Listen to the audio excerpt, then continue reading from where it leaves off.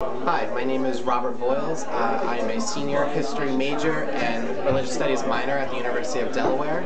Uh, I am part of a class called uh, Muslim Delaware, and what the class entails is we travel uh, throughout the community, uh, around the university, learning about uh, the Muslim community that's present. And we have been traveling to different masjids and Islamic schools, and today we are at the Tarbiyah school. And from what I, my experience was here, that I was very surprised that there was a significant population that uh, was interested in actually focusing on specific Islamic schooling instead of uh, opting with the uh, public education that has been offered. And I was very surprised, and um, I'm happy that that there is an option like uh, Islamic education for Muslims in the community to partake in this school, and I think it's very important that they people of the Muslim faith have uh, have this option to